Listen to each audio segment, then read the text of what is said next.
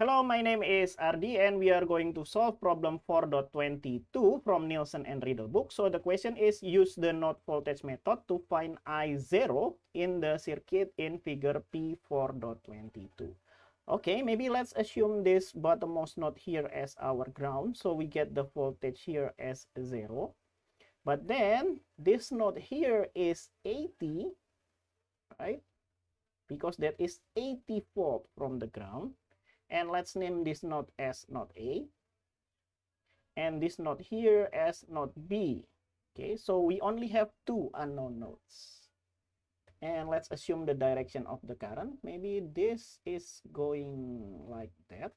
This is going like that. And this is going like that. And this is going like that. Okay maybe let's do KCL at node A KCL at node A. And KCL said that the sum of the current that goes in will equal to the sum of the current that goes out. Okay, the only current that goes in into node A is this one here, and that node is 80 minus VA divided by 5. So 80 minus VA divided by 5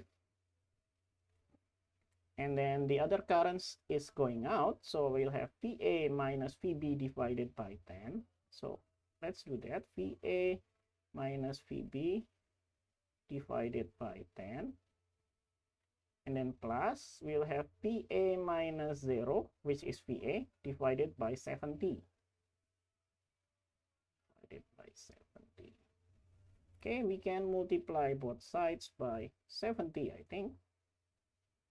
70 and 5 and 70 will cancel into 14. So I'll have 14 multiplied by 80 minus 14 VA. Okay, and then 10 and 70 will cancel into 7. So we'll have 7 VA minus 7 VB. Good and then plus 70 and 70 will cancel each other so I'll have VA here. Okay now let's solve this. 7 plus 1 is 8 8 plus 14 is 22 so I'll have 22 VA and then minus 7 VB minus 7 VB and then 14 multiplied by 80 I think that is the job of calculator.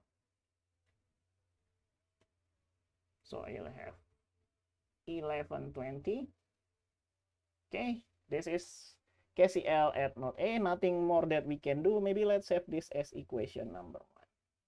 Okay good. Now let's do another KCL but this time at node B.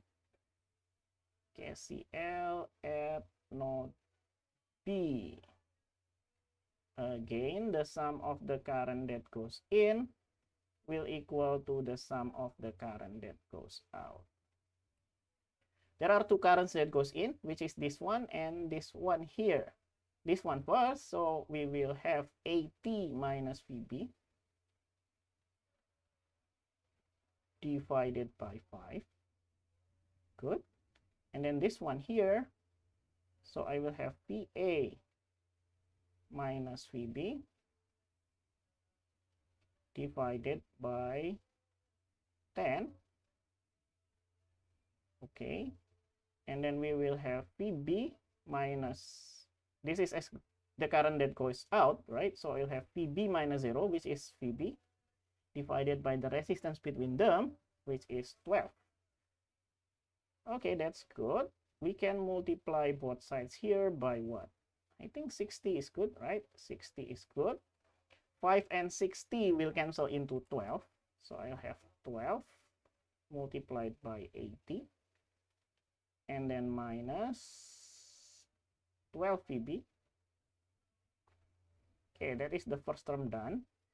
And then 10 and 60 will cancel into 6. So I'll have 6 VA minus 6 VB and on the right hand side we will have 12 and 60 will cancel into 5 so I will have 5 VB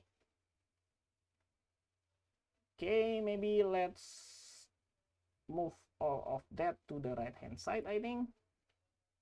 So we will have minus 6 VA, minus 6 VA. And then 5 plus 18, I think. 5 plus 18, what is 5 plus 18? 23, yeah, 23 VB. Plus 23 VB. But then 12 multiplied by 80 is 12 multiplied by 80 960 okay so we have 960 960 and this is equation number 2 okay good. We have two equation with two variables. We should be able to find out VA and VB and I think the fastest way to do that is just using calculator. Let's set up our calculator as equation solver which is number 5 and two variables is number 1 so we'll have 22 minus 7 and then 1112 okay then we will have minus 6 23 and we will have 960 let's hope it's a good number Okay, it's a good number. So VA is 74. VA is 74. And then what is VB? VB is 64. Okay, VB is 64. Okay, but the question does not ask about VA and VB, but I0. I0 is easy enough to find. So what is I0? I0 is this current over here. So that will be equal to VA minus VB divided by the resistance between them which is 10. And VA is 70. VA is 70 minus VB is 60. And then divided by 10. And so we'll have 10 divided by 10. So we will have I0 is 10 divided by 10 or that will be 1 ampere.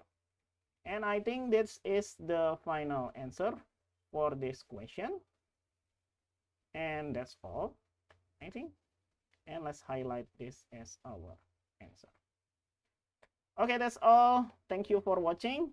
This is the answer for problem 4.22. I don't think I made any mistakes in the calculation. See you in the next video. Bye-bye.